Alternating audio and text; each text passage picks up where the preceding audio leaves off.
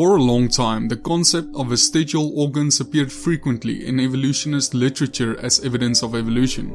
Eventually, it was silently put to rest when this was proved to be invalid. But some evolutionists still believe in it, and from time to time some will try to advance vestigial organs as important evidence of evolution.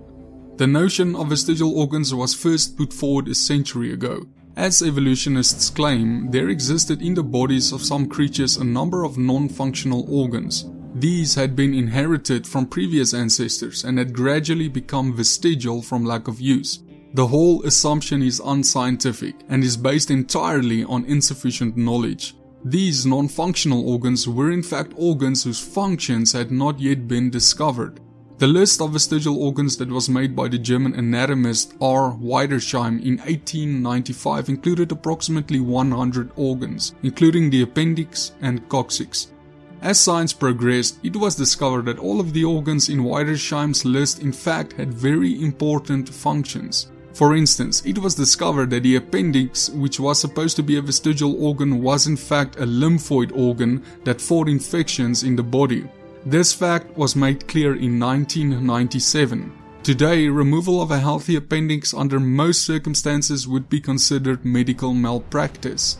Other bodily organs and tissues, the thymus, liver, spleen, appendix, bone marrow, and small collections of lymphatic tissue such as the tonsils in the throat are also part of the lymphatic system. They too help the body fight infection.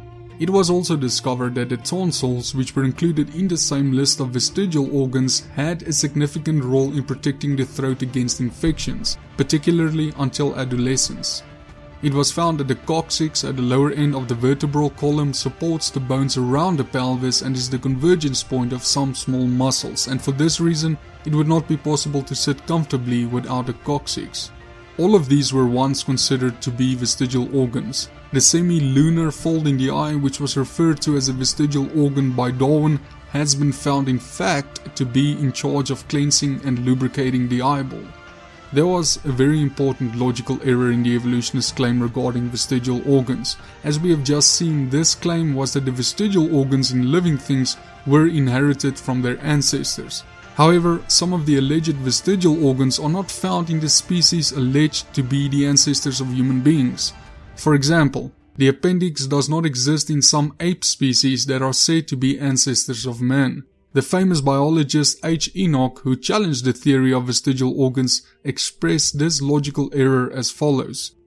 Apes possess an appendix, whereas the less immediate relatives, the lower apes, do not, but it appears again among the still lower mammals such as the opossum. How can the evolutionists account for this? Simply put, the scenario of vestigial organs put forward by evolutionists contains a number of serious logical flaws, and has in any case been proven to be scientifically untrue.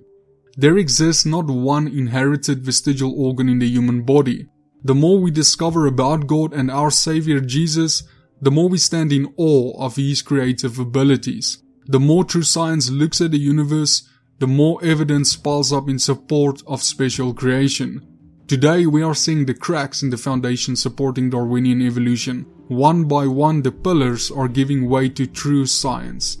Thanks for watching guys and may you all have a blessed day.